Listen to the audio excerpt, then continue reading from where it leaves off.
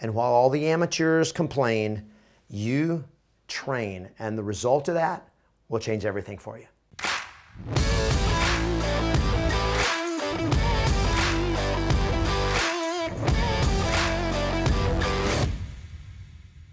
Hi there, it's Kevin Ward, the founder of Yes Masters Real Estate Success Training, helping you get more yeses and more successes in your business and in your life. And if you're a brand new agent, this is really for a brand new agent. And that is, if I were starting over, what would I do and how would I approach the very first 30 days? Now, this is based on a very simple premise.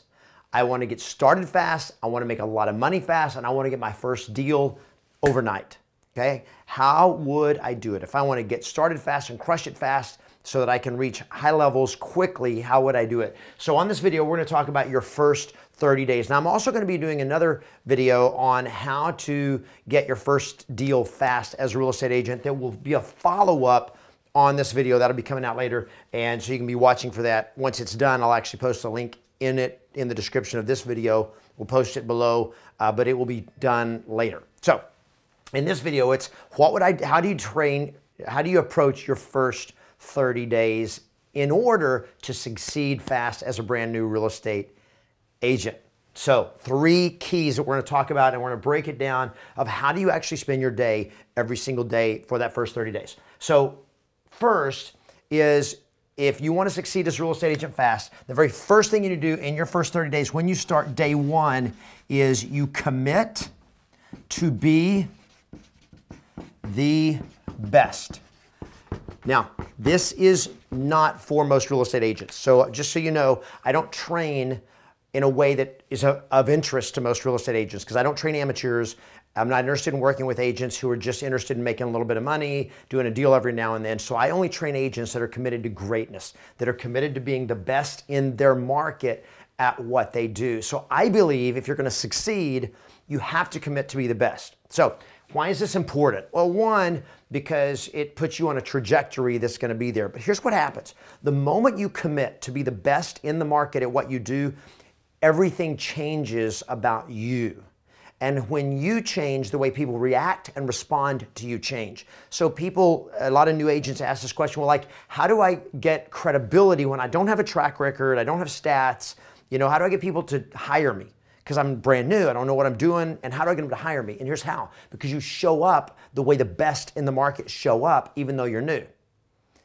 And you can do that. And if you're not good yet, you can get good quickly based on the other things I'm going to share with you in just a second. But first is you have to commit to be the best because what happens is that is that quest to be the best that changes the way you approach your business on a daily basis. You're going to work harder, you're going to be more intense, you're going to be more passionate, you're to have more conviction. And when you have that and you talk to a prospect or you talk to a lead, they're going to hear you different because they can hear the intensity and the commitment and the passion in your voice. They see it in your body language. They see it in the way that you show up, the way you perform, your consistency, your integrity. Everything changes when you do this. You're like, well, what if I'm not, I'm not the best? Well, you're on the quest to do it. So think about being the rookie of the year. Okay, in, in, in sports, you know, they'll they'll have they'll give a rookie of the year award. Well, is the rookie the best in the league? Is the rookie the best? Probably not, but we recognize that because they're on that quest to be the best. Now, what can a rookie bring that most veterans do not bring? And here's what they bring they bring heart, they bring hunger, they bring drive, they bring they they want it so bad. They show up with 120% every day. See the rookies that make it, the rookies that win rookie of the year, they play harder. They got. They know they got to scrap and fight for everything they get. And when you come into real estate, if you're coming in going like, "Yeah, I'm cool, I'm good, I'm gonna I'm gonna crush this," and you come in trying to look cool and you try and thinking it's going to be handed to you on a silver platter because of something you got in your background or something like that, I, good luck with that, but you're probably in for a rude awakening. So I want you to think about Jerry Rice. And here's why I think Jerry Rice is a great example. When Jerry Rice, who was the great wide receiver for the San Francisco 49ers, to this day, he was retired years and years ago. To this day, he has scored more touchdowns than any other player in NFL history, and nobody else is even close to him, probably will never come close to how good he was. But when he got out of college and he went into the pros, he was not that good. He was not fast. He was not highly recruited. He played for a small college. He just wasn't considered to be like one of those guys that had the potential to be the best, right? So what did he do? He committed to be the very best. And every day that's how he showed up. And years later, once he was already a pro, a, you know, a, a, superstar, once he was considered the best wide receiver ever, he would still show up like a rookie every year. In fact, at rookie training camp, when the rookies all showed up for the week before the regular training camp, Jerry Rice was the only veteran that showed up. And he showed up and trained with the rookies for that first week because he said, I felt like I had to prove to myself that I belonged. I had to earn my position again. And he just had that work ethic to show up like a rookie with the commitment to scrap and fight for everything. So here's what you can control. You can't control this fact that you don't have stats, that you don't have a track record, that you've never done this before. You can't control that. But here's what you can control. You can show up with a higher level of commitment than anybody else in your market. You can do that right now today. I'm more committed than anybody else you're going to talk to, Mr. Seller. That passion has a lot of weight. With that commitment to be the best comes the second thing that you've got to do in your first 30 days, and that is this. And these are things that are never talked about in training. Number one is train. Oh, that's real good. Train as if your life depended on it. I'm going to do it again here. Train. There we go. Train as if your life depended on it. Now, I'll make a promise to you, and that is if you train the way I'm about to share with you, you will you're to you're to blow everybody else out of the water.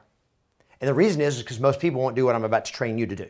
What I'm about to share with you in the next few minutes will absolutely change the game for you, change the trajectory of your entire career because nobody else in your market, nobody else in your office, no other new agents, no other rookies, none of them are going to do this and that is I want you to train the way a professional athlete would train for the Olympics, and I want you to do it for the first 30 days.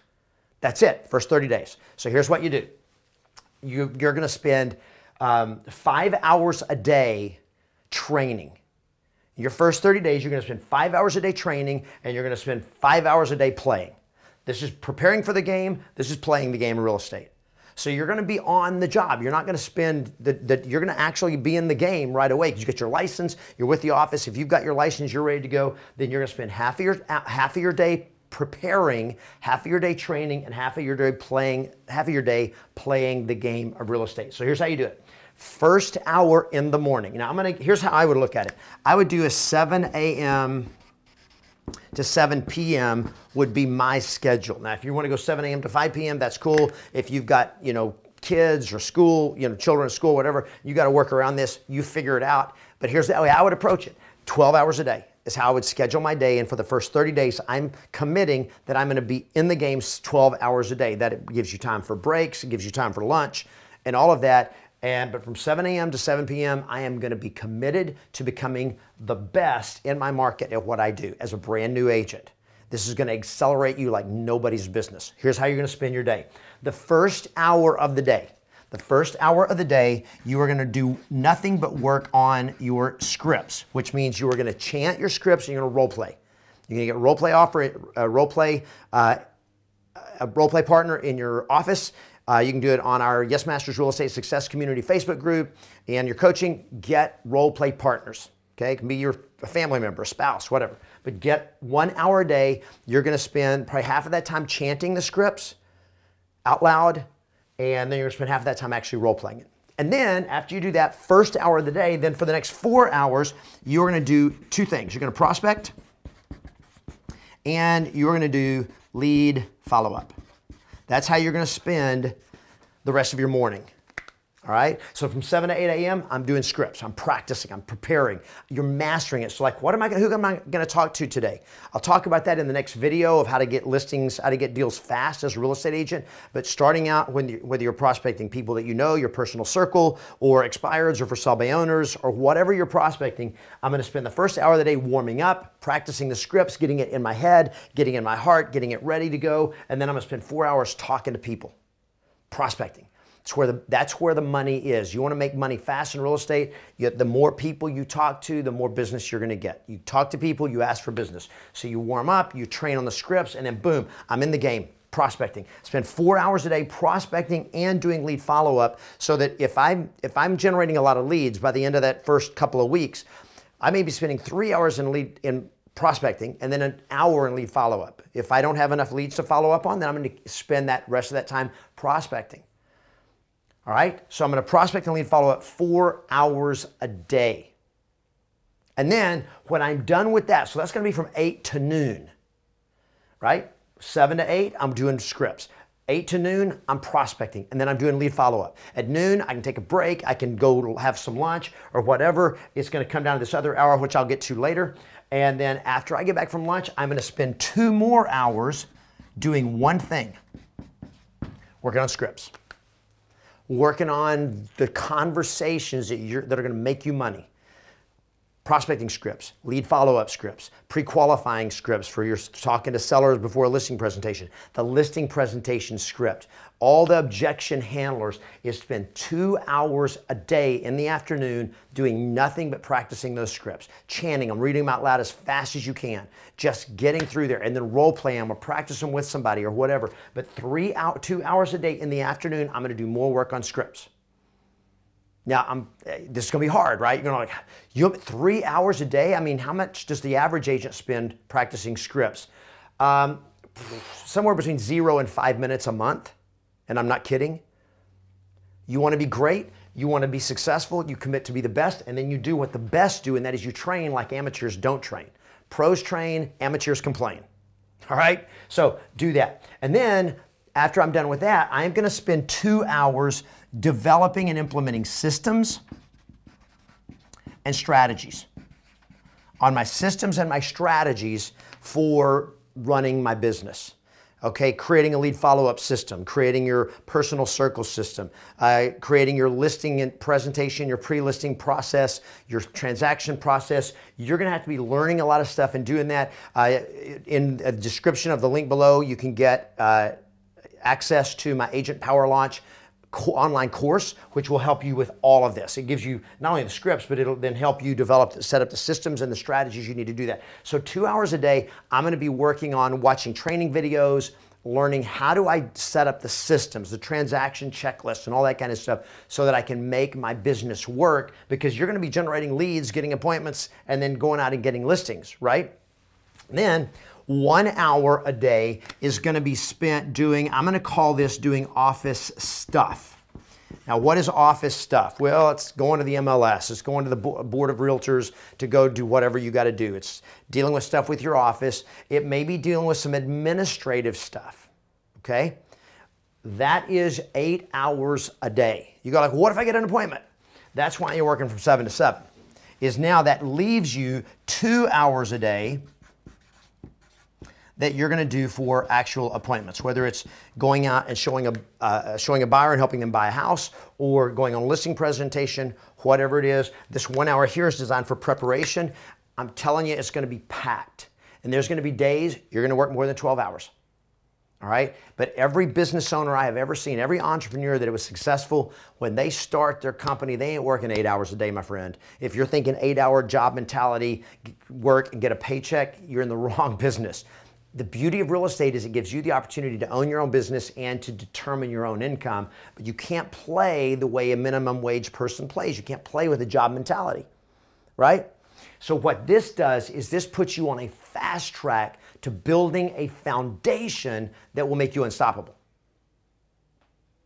So, what most agents don't do is most agents aren't willing to do this the preparation time. They'll go to classes that, so, that somebody says you need to go to these classes and these trainings, and some of them are mandatory, you got to go to them, but so much of them only give you little parts, little segments of what they need to be doing. What I'm talking about is putting your business together. And the most important thing about putting your business together is learning how to communicate with people that are interested in selling a house, buying a house in a way that inspires them to say yes to you. And right here, you're going to spend more time in a month, more time in 30 days learning how to talk to people and learning what to say and lead people to decisions than most agents will spend in their first year. And many agents more than they'll spend in their entire career before they get out of real estate. So that's your first 30 days in terms of commit and then train as if your life and your career depended on it because it does. Now, if you're just interested in a deal every once in a while and just, you know, surviving, you don't have to do this. But if you want to be the best and if you want to really succeed in real estate, this is the step. And then the third step is in your first 30 days is believe that you can do this. Believe that you can be, have massive success fast as a real estate agent. I've got coaching members that in their first year are making $200,000, $300,000 a year in their very first year in real estate. They don't think like average agents think. They train like average agents don't train, and they believe at a level that most agents don't believe at. You go like, well, how do I get confidence? How do I have this belief that I can do it? And here's how. When you commit to be the best and then you train like this, that belief is just gonna just gonna come into your life. Now, I want to prepare you that it's going to be hard. I want to prepare you there's going to be resistance. The people in your office, your broker is not going to understand it. Your manager's not going to understand it. Other agents aren't going to understand it. They're going to be going like, you don't need to do that, or you got to go to this class, you got to go to this thing, and you're going to go to stuff that's going to take you out of the process of training like a professional athlete trains to be the best at what they do if you'll commit to the process, commit to training, commit to be the best, commit to the training, and just the, the belief is to come. You're probably to do some extra reading and reading some really great books. Like uh, Napoleon Hill's Think and Grow Rich is probably the first and cornerstone book that I recommend everybody reads just to get your mindset, start thinking about success. But think about it. Get that belief, and it comes because you're putting in the work to get you to that point. Now, a couple of things. If you like this video, make sure you give it a thumbs up. If you have comments, questions, post them down below. Share this video with other agents. Subscribe to the channel if you haven't done so yet. And then also be watching for the next video that I'm going to publish that will come along with this. And that is how to get started and succeed fast as a brand new real estate agent and how to get your first deal at like that fast. But it starts with this as the foundation. If you want to get your first deal fast, I'm going to give you specific tactics and strategies to do that in that next video. But if you're not willing to do this, it's going to be slow. It's going to be harder. It's going to be much less likely you're going to do it. So if you'll make the commitment to put this together in your first 30 days, bam, it's going to put you on a trajectory that nobody else can touch. And while all the amateurs complain, you train. And the result of that will change everything for you.